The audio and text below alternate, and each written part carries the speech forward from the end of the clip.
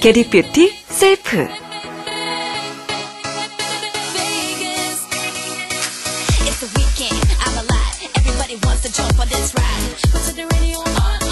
Cause face oil을 얼굴 윤곽을 따라 손가락으로 두드리듯 발라줍니다. Uh, uh, uh.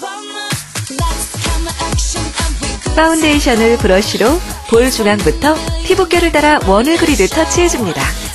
손으로 지그시 감싸 흡수시켜주세요. 브러쉬를 세워 레드 립스틱을 바른 뒤 입술 안쪽부터 톡톡 두드리듯 터치합니다.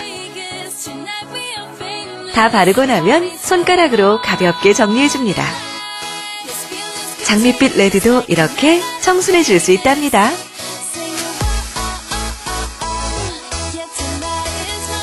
컴팩트 퍼프로 피부결을 따라 터치해 matte하게 만들어줍니다.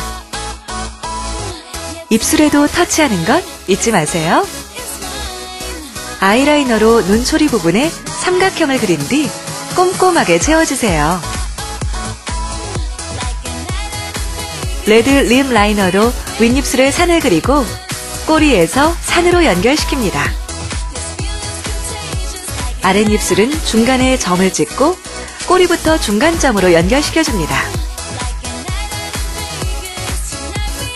lip brush에 레드 립스틱을 균일하게 묻혀줍니다. 브러쉬를 입술에 완전히 밀착시켜 안쪽부터 꼼꼼하게 발라주세요. 섀도우 브러쉬에 파우더를 묻힌 뒤 lip line 주변을 터치해주세요. lip line이 정리되어 또렷한 레드립으로 완성됩니다. 청순한 스머즈 레드립과 드라마틱한 리얼 레드립의 완성!